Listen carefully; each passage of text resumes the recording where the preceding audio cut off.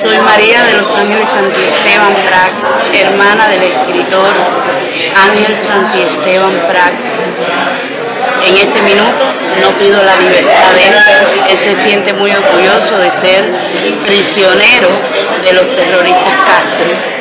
Yo exijo libertad para el pueblo de Cuba, libertad para esos hombres que están presos 30, 35 años, que su único delito es no estar de acuerdo con los terroristas de los Castro.